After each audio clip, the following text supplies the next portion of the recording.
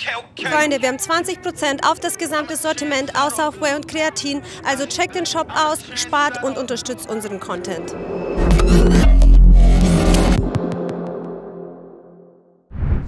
Okay, legen wir los, ja? Legen wir los. Ja, Danke für die Einladung heute hier auf dem Parkplatz. Danke, dass ihr gekommen seid. Ich habe auch extra hier alles schön sauber gemacht und hergerichtet für euch. Wir dachten, weil die Leute gesagt haben, ihr seid wahrscheinlich gar nicht da. Ja, Ihr filmt hier in irgendeinem Studio in Deutschland. Jetzt sind wir auf einem amerikanischen Parkplatz. Ich hoffe, das passt für euch. Wir sitzen vor dem Apartment von Nadine Huber. genau. Martina ist auch da. Ja. Wie geht's dir, Nadine? Äh, gut, gut, mir geht's wirklich gut. Ähm, ich bin gut angekommen. Ähm, ich hatte allerdings einen kleinen Sonnenstich, das hat sich jetzt aber Gott sei Dank wieder gelegt. Ähm, das war der zweite Aufwässerungstag, wo es mir dann halt einfach nachmittags kurz die Schuhe ausgezogen hat. Kopfschmerzen, Brechen. Hast gespuckt, Ja, ja? mir ging's echt nicht gut. Boah. Und Kurz dann vorm Wettkampf auch scheiße, oder? Ja. meine, meine erste Panik war, scheiße, ich salz auf, ich wässer auf, ich kann dem Stefan doch gar nicht sagen, okay, was ist jetzt eigentlich Was wirklich drin? drin? und was nicht. Ähm, aber das hat sich Gott sei Dank wieder alles normalisiert am nächsten Tag. Ich konnte auch wieder essen und trinken und trainieren. Also es war alles tippitoppi. Hast du den geholt beim Einkaufen? Beim Einkaufen? Ja, tatsächlich. Ich bin nämlich vor, das war das ein, äh, einzige Mal, wo ich gesagt habe, ach komm, kannst du eigentlich auch mal vorlaufen. Ja, so in der prallen Mittagssonne. Wie lang war das? Ach, gar nicht so lang, vielleicht 20 Minuten. Genau. hm. Ja, 20 hin, 20 zurück. ja. Und da hat es mir halt mal kurz, ja, Habt ihr da irgendwie gegengekontert? nö, gar nichts. Ne? Nee. Also er Form hat geguckt mich auch, und- Ja, genau. Also er hat auch gesagt, mach dich da nicht verrückt. Die Form sitzt. Also da kann nichts mehr verrutschen. Ähm, bei mir ist eh so in der ähm, Aufwässerungswoche und beim Entwässern, wir machen nichts. Also wir arbeiten nicht mit irgendwas zusätzlich, sondern es wird regulär aufgewässert mit acht Litern oder sechs bis acht Litern und dann geht man langsam mit dem Wasser runter, mit dem Salz runter und ähm, das war's. Und dann stellt man mich halt dahin. Dementsprechend haben wir eigentlich alles so beibehalten. Ähm, wir sind auch einen Tag eher quasi in die Peak Week gestartet. Das heißt, es hat sich gut kompensiert. Und ähm, ja, jetzt sind wir heute am Aufladen der erste Tag. Und morgen dann nochmal und dann ist schon Showday. Wie ist es für dich jetzt allein in den USA zu sein? Ist es cool? Ist es Vorteil? Ist es Nachteil? Hättest gern jemand dabei gehabt? Ähm, also ich muss sagen, jetzt merke ich das Alleinsein mehr, wie jetzt das letzte Mal, als ich die Quali geholt habe in Alabama, weil ähm, mehr Zeit einfach dazwischen ist. Ich bin von Alicante ja eigentlich schnell nach Hause geflogen, am nächsten Tag gleich wieder rüber geflogen. Einen Tag später war Registrierung und ich war dann einen Tag drauf wieder auf der Bühne. Das heißt, ich hatte gar nicht wirklich Zeit, ähm, allein zu sein oder drüber nachzudenken, dass ich allein bin. Jetzt hier ist es schon anders. Also es gab jetzt schon mh, vorgestern war das vor allem, wo es mir halt nicht Es so gut ging. ging. Ja, Ach, scheiße, du bist halt alleine. Ja. Ne? Und, Du musst ähm, halt auch, wenn du irgendwas brauchst, brauchst jetzt Medikamente oder sowas, Ja. musst du halt los. eben. Hast niemand, der dir irgendwas bringt oder Genau, holt? genau. Aber ja, das kenne ich aus meinem letzten Olympiajahr. da hatte ich, ähm, ah, da hatte ich eine Lungenentzündung nach der Show. Also das, da bin ich dann schön mit Lungenentzündung und Fieber nach Hause geflogen und das war auch noch zur Corona-Zeit. Das heißt, ich durfte mir nichts anmerken lassen. Und musst noch Maske tragen wahrscheinlich. Ja. Ach du Scheiße. Ähm, das ist schon, du bist halt, klar, ich hatte jetzt kein Fieber, Gott sei Dank. Aber wenn du so Fieber hast und dir es wirklich schlecht geht, so mit Lunge und allem, das ist schon mal eine andere Nummer. Das war jetzt in Ordnung. Also ich bin, ich bin ja auch zu Hause alleine, in Anführungsstrichen, mit meinen Kindern. Das heißt, wenn ich da krank bin, Ja. dann bin ich halt krank. Ja. Aber ähm, in einem anderen Land ist es schon anders. Der Vorteil hier ist halt wirklich, du hast hier Uber Eats und du kannst dir halt alles nach Hause liefern lassen. Ne? Sei es jetzt ähm, Pharmacy, sei es Klopapier, sei es ähm, Getränke, also alles Schwere habe ich mir einfach vor die Haustür liefern lassen. Ähm, und klar, so die Snacks und so, äh, Fleisch, Gemüse, das habe ich dann schon geholt. Aber alles andere lasse ich mir liefern. Das ist ja jetzt nicht das erste Mal da, aber es gefällt dir am meisten an den USA. Es ist schon Luxus, wenn man sich das alles liefern lassen kann, oder? Das kostet immer Zeit, einkaufen. Ja, Also wenn ich die die Möglichkeit zu Hause hätte und ich, ich würde jetzt mal sagen, du, du bist ja auch aus dem Süden, im Süden gibt's Uber so gar nicht. So Nein. in Großstädten oder so, da gibt's das. Ja. Aber bei uns im Süden, da ist es ja, da gibt's es halt einfach nicht. Da hast du einen Bus vor der Haustür, der alle Stunde vielleicht mal fährt oder alle zwei. nicht? ja, ja, Ja gut, die wohnt auch im, im Nirgendwo. aber schön. Ja, ist schön, ist ruhig auf jeden Fall. Ja. Und hier ist es halt auch so, ähm, du hast hier Zero-Auswahl. Also, wenn du nicht fett werden willst, dann wirst du auch nicht fett. Hm. Also, die Auswahl hast du in Deutschland wirklich nicht. Das Einzige, was sie hier nicht haben, ist ähm, Flav Powder für ein Porridge oder so. Mhm. Das haben sie, haben sie nicht. Ich war auch im Nutrition äh, Store. Die haben so ein, ja, das sieht aus wie ein Gewürz. Das ist so ein Chocolate-Ding. Aber das hat jetzt nicht wirklich so einen Geschmack wie jetzt bei anderen Marken oder so. Aber jetzt in der Peak Week benutze ich das eh nicht. Genau. Und dementsprechend, Gut so. ja, Ja, macht die Darmflora kaputt. ja, Ja. ist so. Wie war. Rede fertig. Bevor Ja, ich merke das auch. Also, wenn ich Süßstoffe rauslasse, weniger jetzt wegen dem Wasser wird es mir gar nichts ausmachen, aber ich merke es halt an der Verdauung. Und Ja, die muss wirklich? halt. Ich, ich Ja. weiß gar nicht. So Also viel Süßstoff habe ich jetzt nicht drin, aber ich habe jetzt da noch keinen Unterschied gemerkt. Aber es gibt ja wirklich Leute, die Das vergewaltigen das ja fast schon. Ja, ja, und die übersüßen dann alles. Und Mhm. dann, die machen sich ja auch selber dann schwer. Ja. Weil das ist ja immer wieder appetitanregend. Die kriegen immer mehr Hunger Ja. und mehr Gelüste. Und ähm, das habe ich ganz, ganz früh dann einfach abgestellt. So in der Off-Season oder so, da mache ich das auch. Ich mache das auch in der Diät, dass ich morgens in mein Porridge was reintue, so einen Scoop oder so. Finde ich absolut legitim. Aber in der Peak Week, da muss die Verdauung stimmen. Mhm. Weil wenn ich dann, wenn das ich, ich dann hier alles zerschieße und nicht nachher so ein, der Kessel raussteht, äh, das geht gar nicht. Ja. Dafür, dass du so einen Scoop von irgendwas reingetan Ja. hast, ist doch der Preis viel zu hoch. Ja, Ja. absolut. Ja. Erster Wettkampf dieses Jahr war Ampro. Ja, Ja. ja, Dann bis Alabama. ja, Dann bis Warschau. ja. Und jetzt ist Olympia. Mhm. Das heißt, du machst schon relativ lange Prep und hast immer auch eine Phase zwischen den Wettkämpfen. Mich würde interessieren, wie so die Phase dazwischen ist. Weil man hört immer so von Athleten, auch von Coaches, dass das fast so das Kritischste ist, irgendwie diese Form zu konservieren. Mhm. Wie ist so die Phase zwischen den Wettkämpfen für dich? Ähm, also, ich muss, ich habe Gott sei Dank auch viel Glück gehabt, so, ne? Also, ähm, jetzt grundsätzlich in der kompletten Bodybuilding-Karriere von mir. Also, ich bin ja 2018 gestartet. Das war, der erste war von der Froschi, Niederbayerische. Ähm, dann war Süddeutsche, dann war Bayerische und dann war die Deutsche. Mhm. Und ich habe eigentlich immer eine Finalplatzierung gehabt, immer Top 3. Ähm, und jetzt auch seither eigentlich immer im Finale gestanden. Und jetzt habe ich das Glück und darf zum zweiten Mal jetzt am Olympia teilnehmen und nächstes Jahr auch schon. Ähm, ich musste nicht viele Wettkämpfe machen dieses Jahr, um mich zu qualifizieren. Das ist natürlich immer das Ziel, natürlich, wenn man irgendwo schon mal war. Ähm, aber ich kann, wenn ich das mit letztem Jahr vergleiche, immer der Zweite. Ja. Das lag dir auch So immer Zweite, oder? ja. Ja, das, äh, da hast du halt dann wirklich auch Selbstzweifel und Zweifel an dir und an der Form und das sind und das Problem war halt oder ist aktuell immer noch so, dass in Europa Figurwettkämpfe einfach einmal im Monat sind. Mhm. Ja, und wenn du vier oder drei Wochen zwischen den Wettkämpfen hast, finde ich Katastrophe. Also wirklich, ich bin eher so, okay, zack, zack, zack und fertig. Dann bin ich in meinem Film drin, in meinem Fokus drin, habe meinen Drive ähm, und kann das abra abrattern. Man macht, äh, also es hört sich immer so hart an, abarbeiten, aber ähm, da bist du einfach drinne. Das ist wie wenn ich jetzt in die Arbeit gehe, arbeite ich lieber acht Stunden oder mache ich eine Teilschicht. Morgens vier, abends vier. Da ist auch, da ist der Tag gelaufen. Und ähm, dementsprechend ist für mich die Übergangszeit oder war die Übergangszeit letztes Jahr extrem schwierig. Auch für den Kopf, ähm, weil du hast nicht mehr zu essen, vielleicht ein bisschen. Das heißt, du hast keinen Dampf im Training, die Trainings sind schlecht und es zieht sich wie ein Kaugummi. So die letzte Zeit, klar, die Woche davor geht immer wie im Flug, aber bis dahin, das war schon anstrengend. Du hast ja auch im Kopf gehabt, die Chancen werden ja auch immer weniger, Natürlich. sich zu qualifizieren. Ja, der. Druck wird ja auch immer größer. Voll. Ja.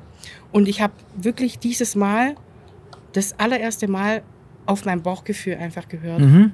Das heißt, okay, ich habe mir den Kalender angeschaut, habe gesagt, okay, ich will Alicante auf jeden Fall starten, weil das ist so Tradition einfach schon, seitdem ich bei der MPC bin. Ähm, den mache ich mit. Und dann ähm, hat mich die Body B einfach angesprochen in Alabama, weil das halt so praktisch eine Woche danach war. Und ähm, ich bin jetzt kein Schwergewichtsathlet, wo man Angst haben muss, okay, der verliert jetzt vielleicht nur auf der Strecke 15 Kilo, ähm, sondern das lässt sich gut halten. Ich kann direkt in die Peak Week starten. Hatte das schon mal so auf dem Schirm, habe das auch mit dem Stefan besprochen gehabt. Er hat gesagt, jetzt machst du erst mal den und ähm, Portugal und dann sieht man weiter. Mhm. Und ich bin halt von der Bühne runter, habe den dritten gemacht in, auf der Empro, bin direkt zu Stefan, weil der hat dann gleich gewartet und habe gesagt, komm Stefan, den machen wir. Ja, doch, das machen wir. Ist eine kluge Entscheidung. Okay, klär das ab, muss ja immer mit den Kindern und so, mit meiner Mami abklären, dass das funktioniert. Und bin dann direkt heimgeflogen, am nächsten Tag in der Früh um drei direkt auf den Flughafen und habe das da gemacht und gut war. Und so habe ich es mit Warschau auch gemacht. Das wäre jetzt meine Frage gewesen. Wann war der Gedanke irgendwie im Kopf gediehen, dass du äh, Warschau machen willst? War das spontan nochmal? Ist auch so ein bisschen eine Herzensangelegenheit Voll, ja. und auch eine clevere Entscheidung gewesen, vor allem Ja. im Nachhinein. Ja. Aber wann hast, du, wann hast du das beschlossen? Ähm, ich habe Robert damals schon geschrieben, also dem Veranstalter, ähm, als ich meine Pro-Karte bekommen habe, macht man ja immer noch einen Profi-Wettkampf, um zu schauen, okay, wo steht man eigentlich? Und der hat bis dato immer nur Bikini und Men's Physik gemacht und Classic dieses Jahr. ähm, und ich habe zu ihm gesagt, Robert, mach doch mal Figur. Und er hat gesagt, ja, das ist halt auch immer eine Geldsache, klar. Dann Starter Mhm. in Europa, auch nicht mehr so, vor allem so kurz vor Olympia und so. Ähm, da wollen die dann eher nach Amerika gehen. Und als es rauskam, dass er das macht, war das für mich schon so gesetzt. So, da habe ich gewusst, okay, ich, ich will da unbedingt dran teilnehmen, weil ich den so schön finde, den Wettkampf. Also die Atmosphäre dort, die kümmern sich, die sind alle so herzlich, so lieb und hilfsbereit. Ähm, die Organisation ist tippitoppi. Natürlich, ich bin auch keine Bikini-Amateurathletin, wo dann irgendwann um drei Uhr nachts Ja, noch da. ja, ja. Das war halt schon knackig, ne? Aber nicht nur für die Athleten, auch für die anderen. Logisch für alle. Weil die sind nämlich noch früher da gewesen. Ja, klar. Ähm, aber ich kann mich null beschweren und bin da aber auch wirklich ohne Erwartungen hingegangen. Ich wollte gerade fragen, woll, Mhm. wolltest du gewinnen oder hast gedacht, ich fahre jetzt einfach hin, weil Natürlich will man immer gewinnen, das schon. Aber ähm, wenn ich jetzt nicht gewonnen hätte, dann wäre das für mich absolut auch in Ordnung gewesen, weil es für mich einfach so eine Herzensangelegenheit war. Ich bin dort Profi geworden. Und du hast ihn ja auch gezwungen, praktisch den Wettkampf zu Ja. machen. ja. ähm, und ja, wollte da einfach noch mal hingehen. Wie, wie ist das äh, nach dem Wettkampf? So als Frau hast du da mit Rebound zu kämpfen, Wasser und so. Ich meine, ihr, Ja. du hast gesagt, ihr wässert auf und macht sonst nichts. Äh, Genau. ist dann problematisch, wenn die Wettkämpfe so dicht ineinander sind oder hast du damit überhaupt gar kein Problem? Überhaupt nicht. Also selbst, ich, ich durfte auch essen danach. Also manche dürfen ja dann auch gar nichts irgendwie Shit oder so essen.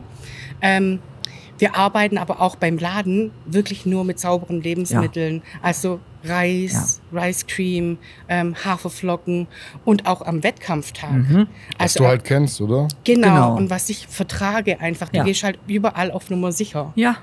Und das heißt, ich habe auch nach dem Wettkampf, weil ich ja bis zwei bis drei Stunden vor der Bühne noch mal eine richtige Mahlzeit esse. Mhm. Ähm, das heißt, wenn ich jetzt vormittags dran bin, dann esse ich auf jeden Fall noch zwei richtige Mahlzeiten. Mhm. Ne?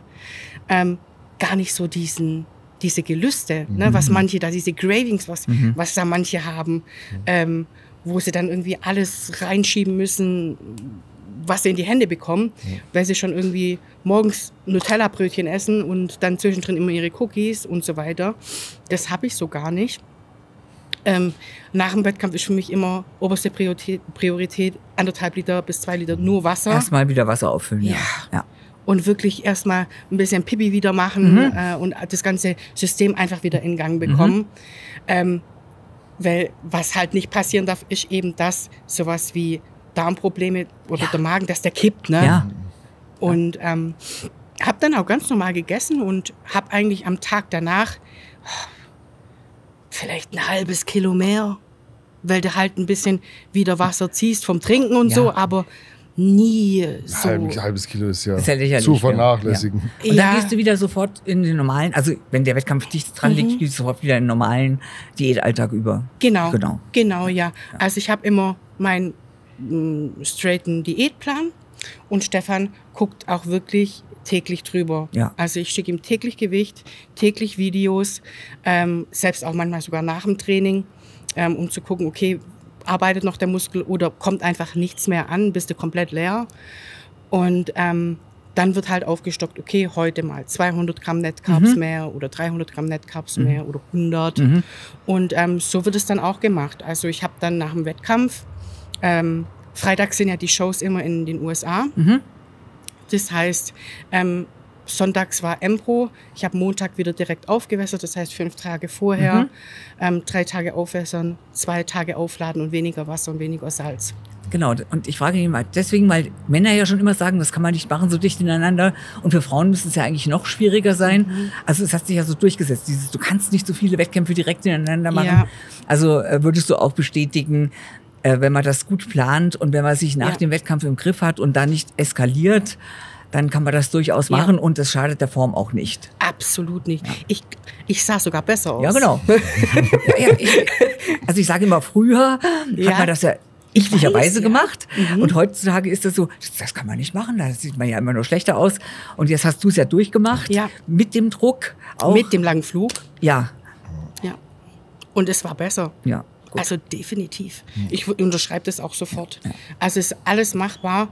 Ähm, du musst halt einfach, wie soll ich sagen, ich glaube, der ganz große Punkt bei vielen Athleten ist, dass die sich zwingen, sie müssen das jetzt machen. genau. Und keiner muss.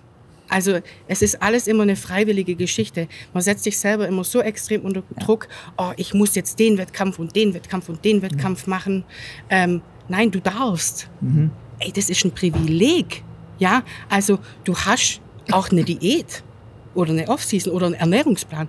Du hast das Privileg, du kannst dir aussuchen, was du isst, ob das jetzt eine Pizza ist oder ein Hähnchen mit Reis, das ist ja dir überlassen. Aber es gibt so viele Länder, wo es- sich die Menschen das einfach nicht aussuchen können. Ja, wir diskutieren Low, Ja. Fat, Low Fat, Low Carb. Woanders Ja. verhungern die Menschen. Wir haben den Luxus, sowas zu diskutieren. Und geben dafür Ja. noch mehr Geld aus. Ja, So. Ja, auch noch. Für weniger Ja. Kalorienmenge geben wir mehr Geld aus. Ja. Und noch dazu, ich meine, diese Diäteinschränkung, die du machst, die ist ja ein sportliches Ziel. Und nicht, weil du eine schwere Krankheit hast und irgendwelche Sachen nicht Ja. verträgst. Ja, ist das so. muss man sich auch immer mal vor Ja. Augen führen, wenn die Leute dann sagen, ja, ich, äh, es ist so hart und ich brauche jetzt meinen Cheat Day und wenn du, wenn du irgendeine Unverträglichkeit hast, eine schwere, dann kannst du Ja. auch keinen Cheat Day machen. Ist also so. das denke ich auch immer, hm, Ja. Ich habe selbst eine Athletin ausgesucht. gehabt, die hat Morbus Crohn. Mhm. Und da haben wir echt das nur durch Ernährung Mhm. wieder so in den Griff bekommen. Die ist so happy. Mhm. Und das heißt nicht, dass sie gar nichts Schlechtes in Anführungsstrichen mehr essen kann, sondern sie kann, ihr Darm hat sich jetzt wieder daran gewöhnt. So, weil das war einfach ein zu großer Überfluss an schlechter Ernährung, an schlechten Lebensmitteln. Ähm, klar, Stress kommt auch noch dazu, aber ähm, das ist ja wie mit allem so das Maß. Ne? ja. Einfach das Gleichgewicht beibehalten, auch was ähm, Wettkämpfe angeht, was Essen angeht, was ähm, es weggehen angeht, Mhm. einfach alles. Wenn du alles mit Maß und Ziel machst, dann Mhm. kann es einem eigentlich nur gut gehen. Und Wettkämpfe, das, das machen zu dürfen, auf Bühnen stehen zu dürfen, daran teilzunehmen, ähm, in Sport zu gehen, wann man will, kein Krieg zu haben, ein Dach über dem Kopf, Ja. ein Bett zum Schlafen. Also das ist schon, ähm, muss man dankbar sein. Du sagst also, es hätte keinen negativen Turn gegeben, wenn du jetzt Warschau nicht gewonnen hättest? Ich wusste ja, ähm, also wurde auch hoch posaunt, das sei jetzt so vor der Olympia ähm, der stärkste Figurwettkampf, weil es eben nur Figur ist und weil halt Olympiateilnehmer schon dabei sind. Ähm, und auch von der Anzahl. Und es sind noch frische Athleten dabei. Mhm. Ja? Also die, wo ihre, äh, Mhm. ihre Wettkampfsaison jetzt erst starten. Ich bin halt schon ein halbes Jahr Mhm. gut dabei. So, ähm, das heißt, aber ich glaube, ich beruhige mich da auch immer so ein bisschen selber. Ähm, wenn ich, wenn ich, glaube ich, nicht in die Top 3 gekommen wäre, wäre ich wirklich enttäuscht gewesen. Hätte sich das dann ausgewirkt auf Olympia jetzt? Ja, Du bist mental ja auf jeden Fall. Schon, wobei du trotzdem in der Lage bist, wo du fast nur gewinnen kannst jetzt hier. Ja, Das ja trotzdem nimmt auch wieder Druck raus.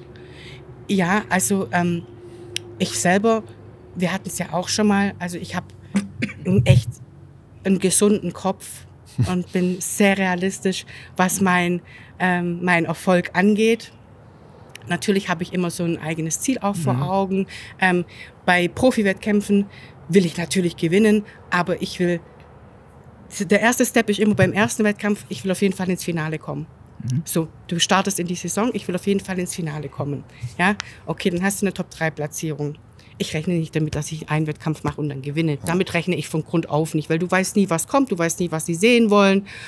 Und ähm, man muss sich davon auch ein bisschen lösen, weil sonst macht man sich einfach mental kaputt, ähm, dass wenn du Dritte bist, dass du schlechter bist als die Erste, weil du kannst die ersten drei kannst du immer, die kannst du immer schieben, ne? Und ähm, wenn du dich nur darin, ähm, wie, wie sagt man, Da, daran freust, Ja. ganz vorne zu sein. Ja, ähm, darum geht's nicht in dem Sport.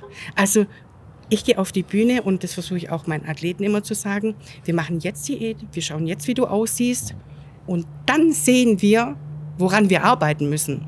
Ja, also jede, kein erster Platz, ab dem zweiten Platz kannst du sagen, okay, es hat vielleicht da und daran gelegen. Hol dir Feedback. Ich bin eigentlich, hol mir immer Feedback. Auch als Erstplatzierte. Okay, was mache ich jetzt für ein Olympia? Ja, weil du gehst ja trotzdem zu einem Wettkampf, wo du Ja. ganz genau weißt, erste werde ich nicht, Ja, zweite wahrscheinlich auch nicht. ja, So, und dann kannst du ja Leute hinter dir lassen, wenn du das umsetzt, was sie dir sagen, genau. um vielleicht gegen Platz 12 Ja, gut auszusehen, Elfter zu werden nachher Ja. oder sowas. doch, das wäre ja Bombe.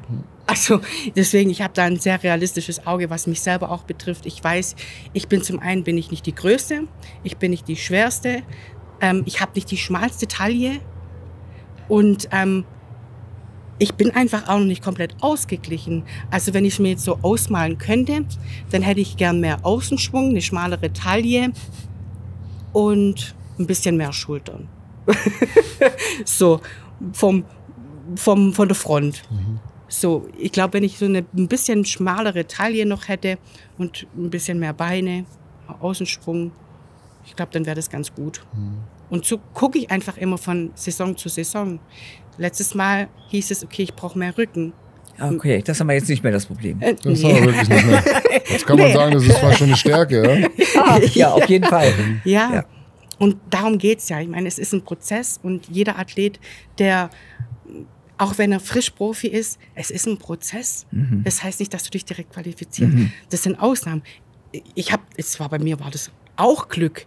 Ich bin von der Schwangerschaft raus, habe meine erste Saison gemacht, bin Profi und bin zum Olympia. Das, das ist nicht die Norm. Nein. Und da gehört auch eine Menge Glück dazu. Ja. Und ähm, das weiß ich aber auch. Und ich weiß auch, dass ich nicht die beste Athletin bin. Und ich weiß auch, dass ich ähm, in meiner Athletenkarriere nicht mehr als vielleicht elf werde oder zehn werde, je nachdem, wie lange ich es noch mache. Also du wirst ja auch älter. Ne? Ja. Also ich bin jetzt auch schon, ich freue mich über eine Platzierung beim Olympia Ja. einfach mal. Mhm. So, dass du nicht Platz 16 bist. Das würde ich, da würde ich mich richtig drüber freuen. Und da, da, da trinke ich einen Schnaps drauf. Mhm. Also wirklich, darüber freue ich mich dann auch richtig. Und alles weitere äh, zeigt die Zeit. Ja, also die ersten sind eh gesetzt. In Anführungsstrichen. Ja, also, also, da bin ich, bin ich auch. ja, oder? Ich sage das ja auch immer, du musst die Leute, die vorne sind, wenn die wieder die gleiche Form bringen und alle gut sind, musst du erstmal einen verdrängen können. Das muss ja einen Grund Dann nicht geben. nur 3% oder irgendwie so besser Nein. sein, du musst wirklich so Du sichtbar... musst ja einen Grund geben, sie sein sich als da die. platzieren. Ja. ja. Also du musst ja wirklich, das, aber ich muss sagen, das sehe ich so ein bisschen bei der Lena. Die ist so ein, so ein, ähm, also nicht, dass sie Top 3 wird, das nicht, aber ähm, die kommt raus und die ist so ein Shining Star. Ne? Genau, so ein Hingucker. Ja. Genau. Ja. Und deswegen qualifiziert sie sich auch immer. Und sie hat auch einen eigenen Look. Ja, Mhm. Also sie kopiert jetzt nicht da vorne irgendwie, die, die Genau. damit schon machen irgendwie und mitmischen ganz die vorne. sehen ja auch, also ähm, ich finde, Jenny und Lena sind von der ähm, Form, sind die sehr ähnlich, also von der Linie.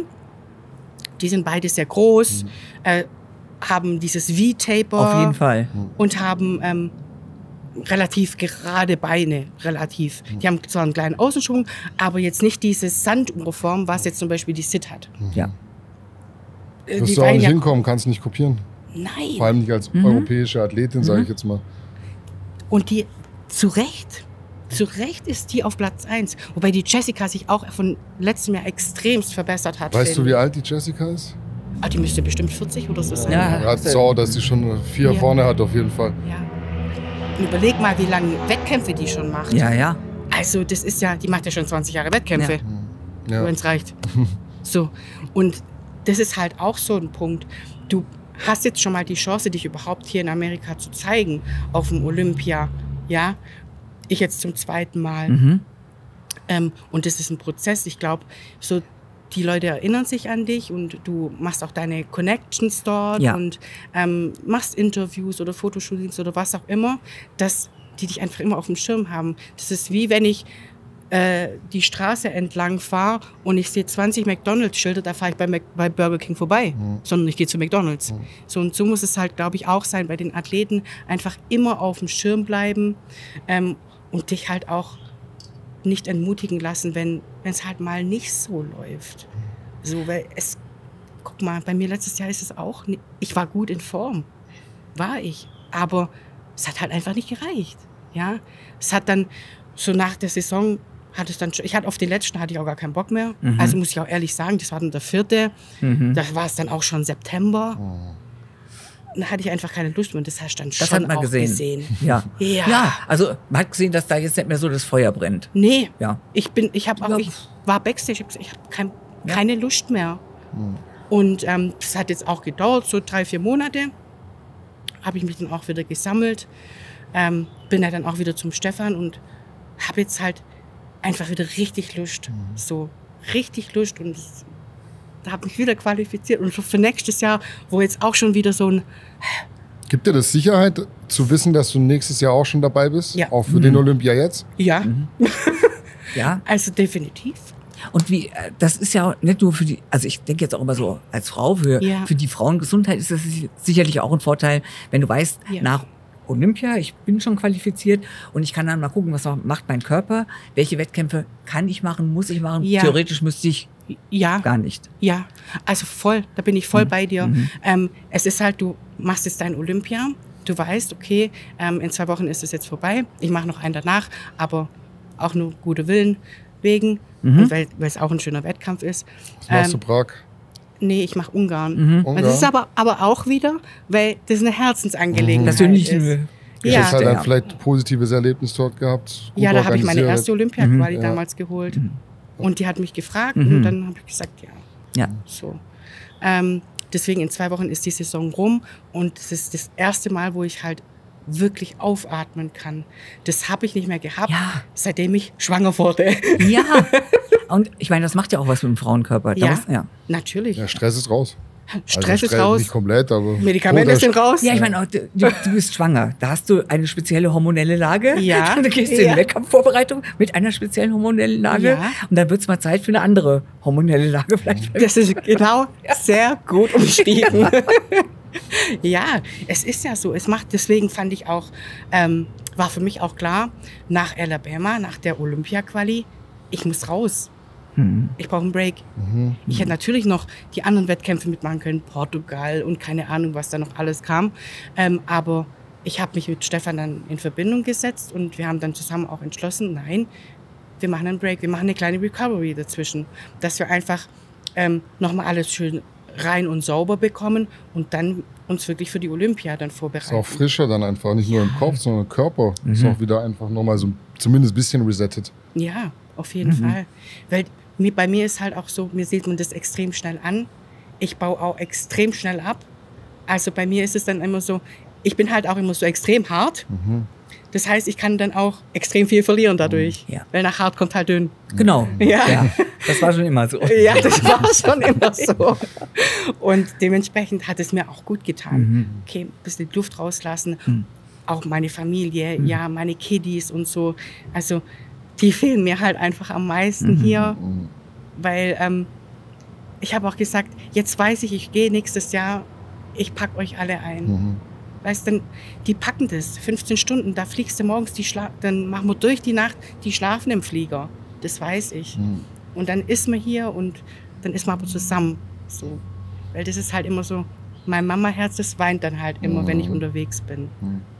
Ja, ich, kann, also ich weiß es nicht genau, aber ich kann mir so ungefähr vorstellen. Ja. ja. So, man, man hat halt ja immer doch auch Gedanken, was, was zu Hause passiert gerade. Ja. Mhm. Ja. Also ich bin Gott sei Dank sehr, sehr dankbar, dass meine Mami gleich um die Ecke lebt. Ja. Die begleitet mich seit meiner Schwangerschaft. Die war bei mir beim Wochenbett.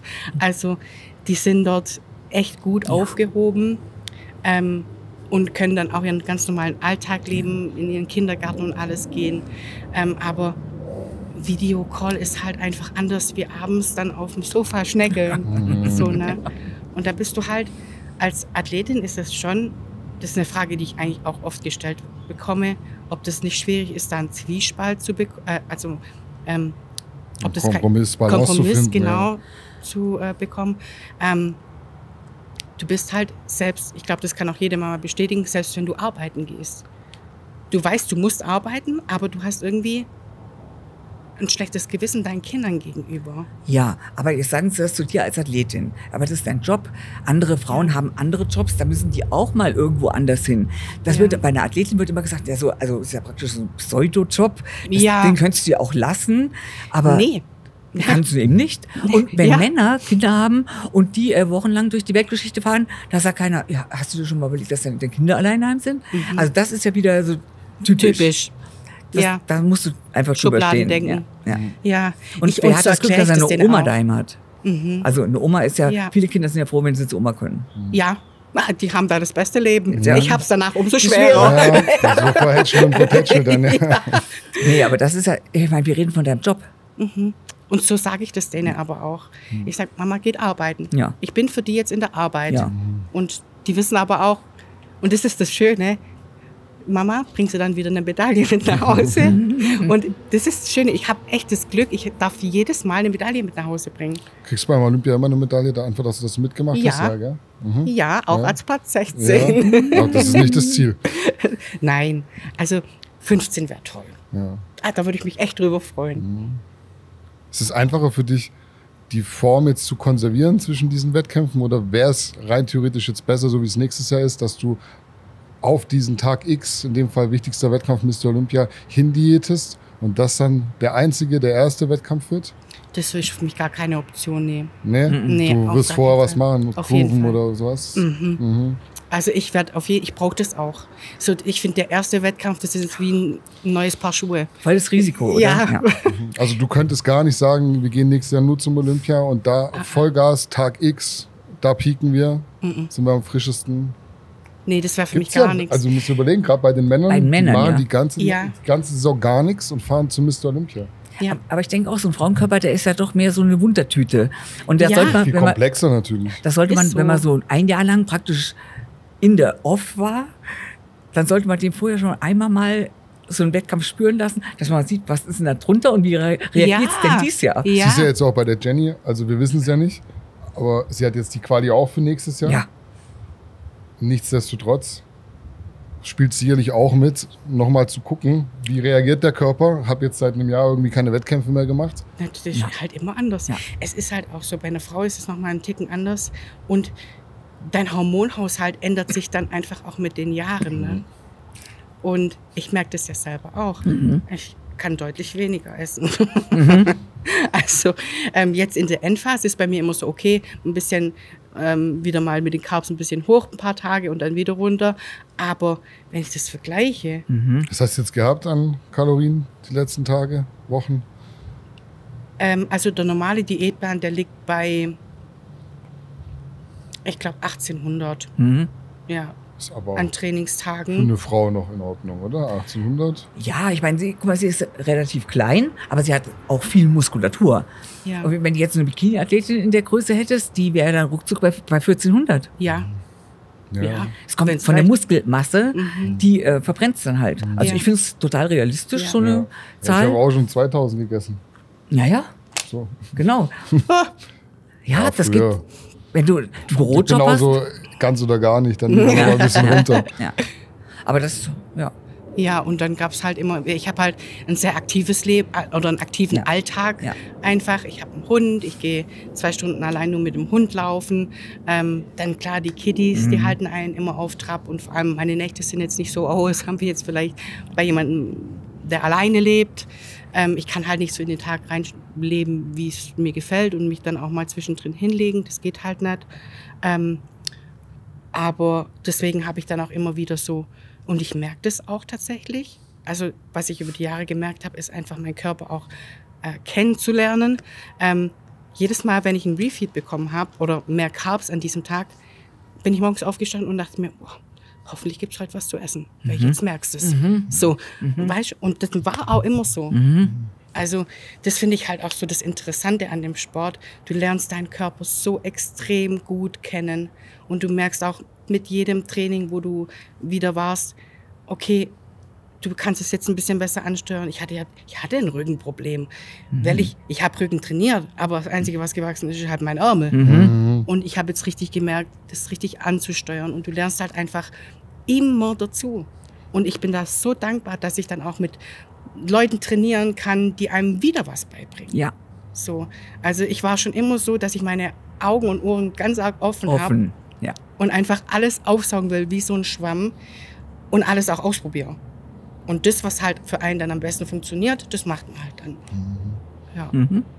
Habt ihr jetzt in der Peak Week irgendwas verändert? Weil ihr eventuell gemerkt habt bei den letzten Shows, das hat gut geklappt, das hat nicht gut geklappt? Oder war ein Wettkampf so gut, dass man das jetzt versucht, mehr oder weniger zu kopieren nochmal?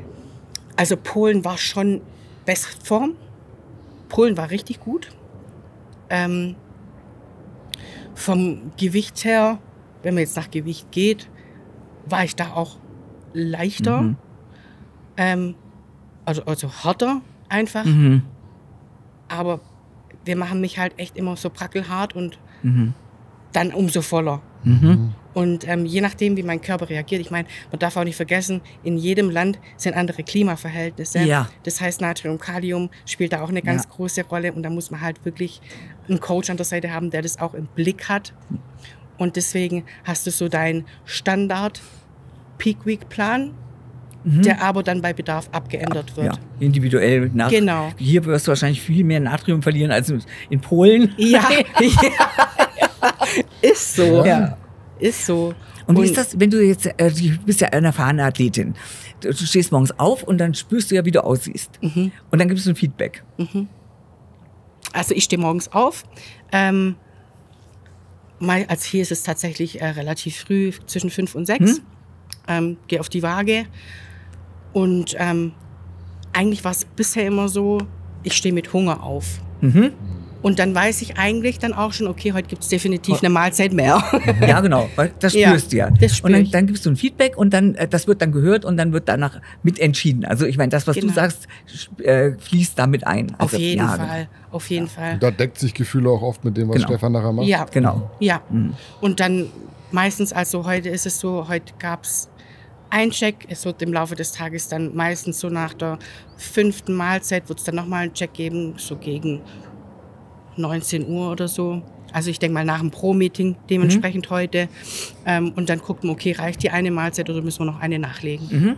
Und so wird es morgen dann auch ablaufen. Morgen wird wahrscheinlich, dann werden es auf drei Checks rauslaufen. Mhm. Einmal live und der Rest über Video. Mhm. Weil er kennt den Spot, er kennt mich, wie ich aussehe und kann dann, er kann das. Also da gibt's gar und hört halt dann auch auf mich, was ich sag. Wie geht's Genau. dir? Spürst du den Druck auch in der Das meine ich Muskulatur? genau sowas. Ja. Genau. Also da geht er voll danach. Gibt es Athletinnen in deiner Klasse, die du selbst richtig gut findest? Oder kann man sich sowas auf dem Niveau als Profi, wo auch diese Konkurrenzsituation herrscht, gar nicht leisten? Ähm, nee, also ich bin grundsätzlich so ein richtiger Gönner. Mhm. Also ich habe auch äh, die Lena jetzt gesehen im ähm, Torte Gym Mhm. äh, gestern. Gestern war das, glaube ich, ja. Ähm, bin dann auch direkt zu ihr her und habe gesagt, wow, du wirst richtig rasieren, so, ein- du hast einen richtig guten Rückenwind und so. Also ich freue mich dann Mhm. auch und ich bin selber dann auch gespannt. Ich sehe mich nicht auf der Finalbühne, deswegen freue ich mich dann umso mehr, das Battle zwischen den anderen zu sehen Mhm. und feiere da eigentlich oder fieber da richtig mit. Ähm, und gefallen tut mir ehrlich gesagt von der Linie am besten die Sid. Mhm. Die finde ich einfach von der Linie unschlagbar.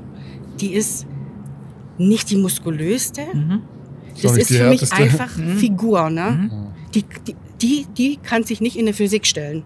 Es gibt halt Figurmädchen, die können sich auch in die Physik Zum stellen. Beispiel die Dutili oder wie die heißt. Ja, Die geht- die geht ja auch. Die ist ja die die ist genau. Ja, Aber das war vorher schon so, also bevor sie sich entschieden Ja, hat. die ist Genau. sehr muskulös und auch sehr hart. Ja. Also ich habe, ja, und ich weiß ja noch, wir waren ja zusammen damals beim Stefan vor zwei Jahren.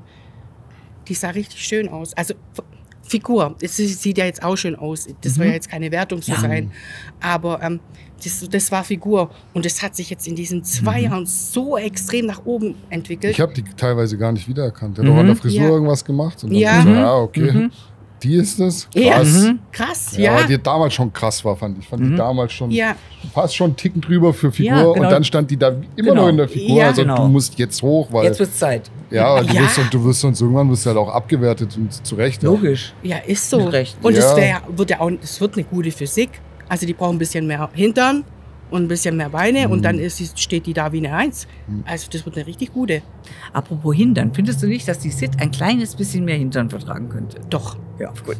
Weil die hat halt so brutale Ja, Schenkel. ja, ne? das nehmen die alles weg beim Training. Ja, ja. Irgendwo, das ist das, ist dein Arm. Einzige. Ja. Und ich finde es so toll, dass die jetzt alle so auf Hintern aus sind. Ich finde, ich meine, das ist ja meine Stärke. Ja. Ja, also ich finde schon auch, also so ein bisschen in der Seitenansicht, so ein bisschen mehr könnte, Könnte schon ein bisschen, mehr Schwung haben, Ja. definitiv. Ja, Also jetzt meckern auf ganz hohem Ah, Niveau, ja. weil sie wirklich eine tolle Athletin ist, aber wenn man so sagen würde, so ein bisschen Hintern wäre schon fein. ja, Mhm. ja. Dann, also ich glaube, dann wäre es ja echt perfekt auch. So. Und das ist halt einfach eine, die ist einfach bildschön. Ne? Mhm. Also die Ja. guckst du an, die sieht aus wie eine Actionfigur. Ja. Und die, wenn die halt hinter der Bühne steht oder am Pro-Meeting oder so, die ist halt wirklich, die ist halt zierlich, Zierlich. eigentlich. Wie- Haben wir, haben wir die letztes Jahr gesehen, wie sie mit, dem- da kam sie mit dem Jogginganzug raus? So, Ey, du hast, also, wenn du die jetzt nicht gekannt hättest oder halt nicht so gut kennst, du hättest nicht gedacht, dass die das ist, die dann Nee. nachher auf der Bühne steht und so abreißt. Ja, das ist halt dieser, Unscheinbar. dieser Wow-Effekt dann So einfach krass. auf der Bühne. Die, du siehst die auch beim Laufen, die hat ja extrem schmale Handgelenke Mhm. und Schlüsselbein. Also ist ja alles sehr zierlich, Mhm. wie von einer Bikini. mhm. Aber dann macht die auf und dann boom. ja, diese plastischen Ja. Muskeln. Ja, und dieses Grinsen Mhm. und also Hammer. Ja, und die, kommt- wenn die rauskommt, so souverän, aber ohne arrogant zu sein. So Ja, diese Das Mischung ist so. einfach. Ja, ist so voll total, ja, sympathisch. auch und ja, Ja. Ist Ja. schon ein würdiger Champion, Mhm. kann man sagen. Definitiv. Ja. Was ist denn deine größte Stärke, wenn du das selbst beurteilen müsstest? Ähm, muskulär jetzt. Ja, Ähm, mittlerweile würde ich sagen, mein Rücken Mhm. ja. und mein Hintern. Mhm. Ja, auf jeden Fall. Also, wenn du dich umdrehst, das ist schon spektakulär. Ja, also ich muss also Da hast du auch Warschau gewonnen. Ja. Mhm. Das war, wo du warst, wo ich im Stream Mhm. gedacht habe, hab's ja auch geschrieben gehabt, ganz komisch, dass sie die andere da so nah dran lassen haben. Aber als, sie sich, als Nadine sich umgedreht hat, war vorbei. Mhm. Da war der Wettkampf gelaufen, fand ich. Also, dass am Ende dann immer noch so, also nicht so eine Show Ja. draus gemacht ist halt, Ja. es ist halt Show. Ja. Aber ich fand es war schon deutlich. Ja. Ja. Ähm, und halt, also ich habe mittlerweile auch echt eine gute Bauchkontrolle gelernt.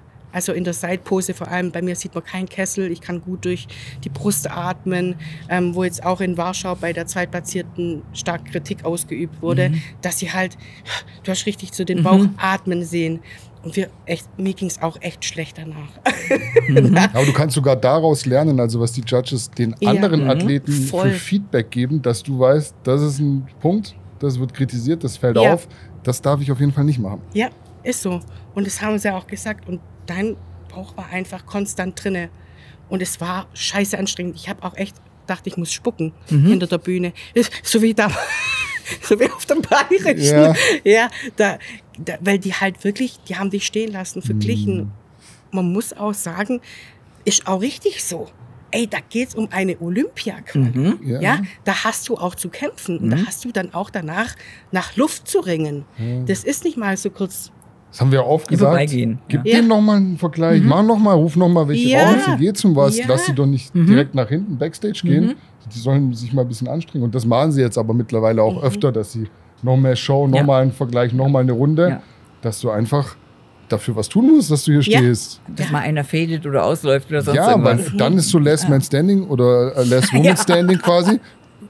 Du musst es Ja. dir schon verdienen. Ja. Wenn du da nicht fit bist, dann ist ja irgendwo dann der sportliche Anspruch Mhm. noch mal auf der Bühne.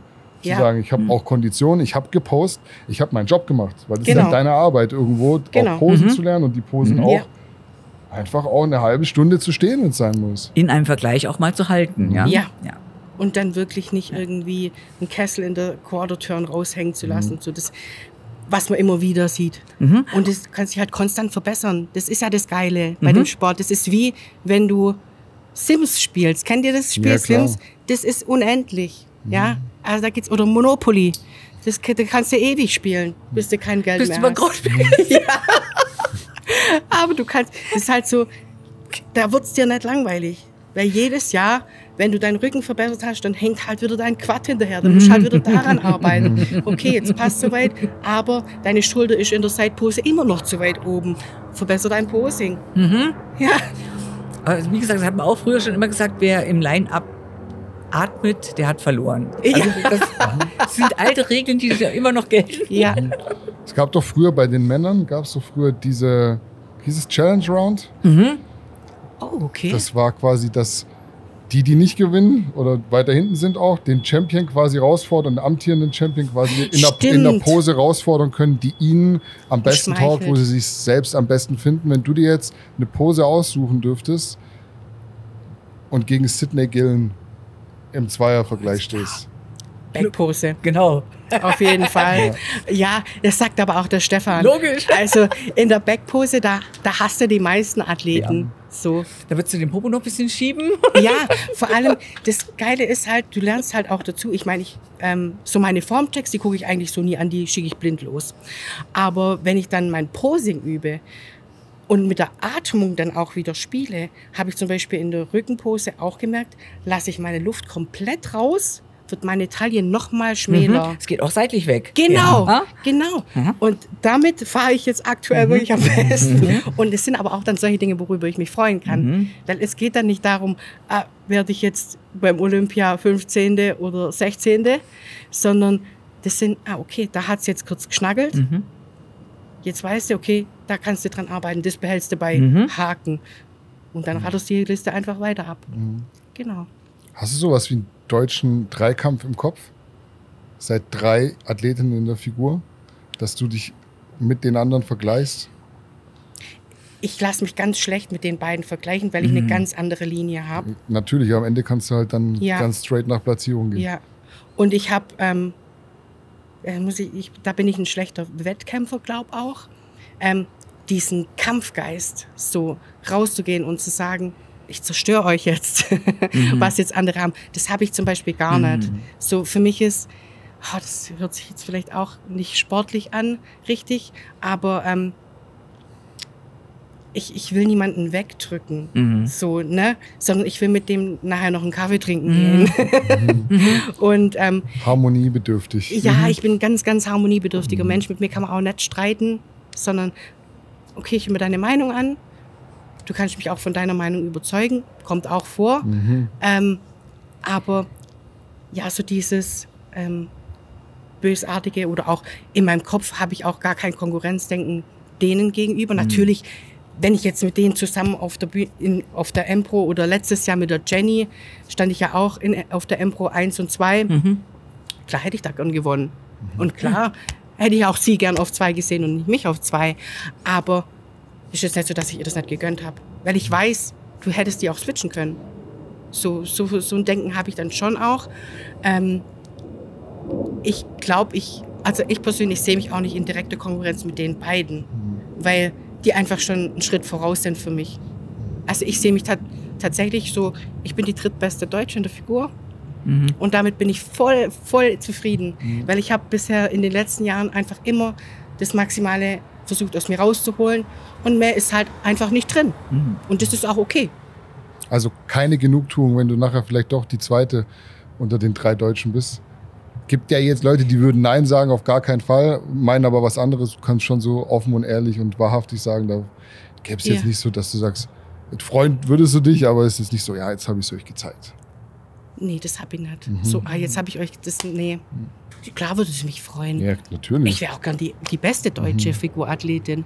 Aber ich finde es jetzt auch nicht schlimm, wenn ich die drittbeste bin. Weil ich gehöre zu den Besten und das, das ist mir du, auch da bewusst. hast du ja schon safe. Da musst du nichts mehr Ja. dafür machen. Das ist ja, Ja. das Schöne, ja. Ja, deswegen bin ich einfach wirklich happy und ich bin auch ähm, happy, jetzt da übermorgen auf der Bühne wieder zu stehen und ähm, mein, mein iWalk zu machen und ich freue mich danach aber dann trotzdem auch auf einen Burger und einen Donut. Ähm, und ich freue mich auch wieder aufs normal, normale Leben, in Anführungsstrichen, wenn ich einfach, ähm, weil man macht sich ja auch wirklich manchmal selber den Druck, wobei ich da auch schon sehr, sehr viel besser geworden bin, wenn ich jetzt mal nicht ins Training komme, sondern einfach länger mit meinen Kindern auf dem Spielplatz bin.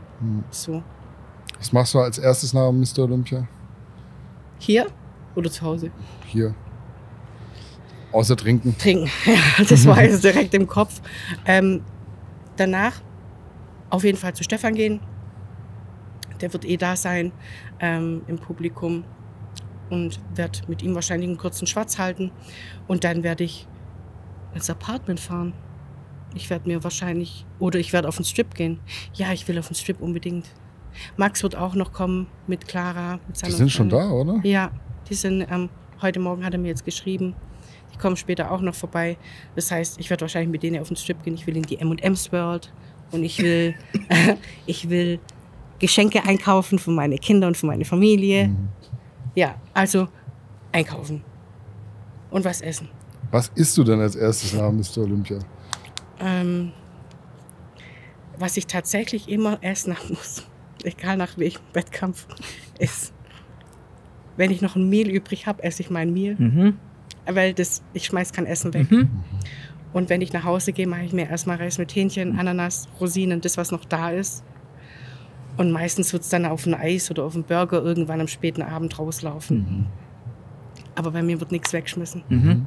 Das ist vorbildlich. Ja. Dann gib uns zum Schluss noch mal eine Einschätzung, eine Prediction. Wo siehst du dich jetzt? Du sagst, platzieren wäre geil. Mhm. Das ist so, ja, das ist schon so das Optimum.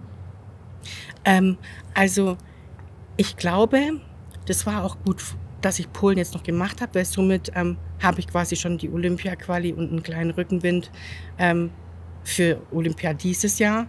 Außerdem habe ich meine Quali in den USA geholt, was auch gut ist. Ähm, Tyler hat mich ähm, oder kennt mich auch also von den Wettkämpfen und hat auch schon mir Feedback gegeben. Ähm, das heißt, 15 safe. Mhm. 15 safe, glaube Mhm. ich. Aber schön wäre natürlich mehr. Also klar. Ja. Ja, Aber ich Placing denk wäre 15. schon, wär schon stark auf jeden Fall. Ja, ja. Das wäre toll. Sind wir eigentlich einig, oder? Ja. Ja. Ja. Ich auch gesagt. Ich glaube, Top 10 ist schon das knackig. Ja, das, das Da musst du halt auch echt, da musst du immer auch ein bisschen Glück haben, dass irgendjemand vielleicht die Form und du musst Marcel- halt auch in einen Vergleich reinkommen. Genau. Ja. Du musst das Glück haben, dass du in dem Moment von jemandem gesehen wirst und unbedingt in den Vergleich reinkommst. Ja. Das wäre Ist so. Genau. Also lass Dann in dem ersten. Vergleich fünf sein, im zweiten nochmal fünf oder sechs. Ja. Ja, Ja. erster fünf, zweiter sechs oder, Oder sieben. zwei Sechster. Ja, musst oder zwei zweiten, musst Sechser. im zweiten Callout kommen, da wird's schon. Ja, Genau. überleg mal. Das wäre. Und dann wär's, wenn sie das gesehen haben, wenn du dich umdrehst, dann ist. Ähm, Ja, ja, und da muss halt erst mal reinkommen, gell? Wie viel seid ihr in der Figur? Weißt du das? Ähm, boah, deutlich weniger wie 22. In 22 waren es ja, glaube ich, 44 Athleten. ja. Ich glaube, die Hälfte ist es jetzt, oder? So 24 oder so, 22, 23. mhm, das kann sein, ja. Da musst du fast eigentlich sagen, ich will platzieren. Ja. ja. Also alles andere wäre halt dann auch bei allem äh, tief stapeln. Na, zu tief, zu tief gestapelt. Genau. Ja. Ja, ich, ich versuche mir halt immer so wenig Druck in Anführungsstrichen wie möglich zu machen, um halt nicht enttäuscht zu sein. Ja. Ähm, deswegen freue ich mich dann einfach, ich freue mich einfach um eine, über eine Platzierung. Und je näher es an die 10 kommt, Ja. desto toller ist es natürlich. Weil natürlich, wenn du dich jetzt schon in dem Bereich dann bewegst, wird es halt nächstes Jahr, wenn du wieder das Paket abbringst, wie auch bei den ersten, die gestellt sind, muss man mich dann auch erstmal wieder Genau. wegverdrängen. Ja. Ja. Da sind wir Ja. sehr einig. Ja. und wünschen ein bestes Gelingen, maximalen Erfolg. Danke. Ja. Und auch nochmal vielen Dank, dass wir da sein durften. Immer gerne. Ich meine, ich lade euch wirklich gern wieder auch auf dem Parkplatz treffen ein. Das war sehr angenehm. Ja, du hast halt nicht aufgeräumt gehabt. deswegen Ja, bei mir halt jetzt aus auf den wie Schwein, Parkplatz gehen. Ich hoffe, das war vom, vom Ton einigermaßen okay. Der eine oder andere hat jetzt nicht ganz so viel Rücksicht genommen beim Vorbeifahren. Die Teslas waren ein bisschen angenehmer, die hast du gar nicht gehört, aber ansonsten hoffe ich, ihr hattet Spaß. Haben wir ein paar US-Cars drauf. Gut, Ja. dass wir sehen, dass wir dann hier noch ein sind bisschen Zumin- filmen am Zumindest Parkplatz. Ton auf jeden Fall. nicht Also, beim Aldi-Parkplatz habt Ja. jetzt, Augsburg-Rosenheim. ihr habt jetzt hoffentlich gesehen, wir sind auf jeden Fall in Amerika. Oh ja, also das müssen wir aber auch echt ausmachen, dass wir mal zu Martina und zum Heinz gehen. Da habe ich echt Lust drauf mal wieder. Ja? Ja, Ja. Ihr geht in den Keller trainieren. Ja. Zeige ich dir nochmal meinen athletischen Körper, ziehe dich nochmal beim Wadenheben ab. Ein bisschen. Man muss das ja auch immer runterbrechen, ja. Dein Gewicht, deine Größe, mein Gewicht. Eigentlich bin ich der Sieger. Ja, aber, Aber ich wir haben hatte, eine hatte, brutale Wadenmaschine. es war aber kein Stack mehr da. Ich war bei Max. So. Also man, das nächste Mal muss man ein bisschen mehr drauf machen. Dann halte ich wieder die Distanz. Nadine, alles Gute, wirklich. Dankeschön. Alles Gute für Freitag. Ja, danke. Und wir freuen uns zuzuschauen. Ja. Ja. ja, und ich finde es toll, dass ihr da seid. Ja, wir freuen Wirklich. uns auch. Und in diesem Sinne war es das hier mit dem Interview aus der Parking Lot bei Nadine Huber vorm Apartment. Ich hoffe, ihr hattet Spaß, seid gut unterhalten und bis zum nächsten Video. Tschüssi. Ciao, ciao. Ciao.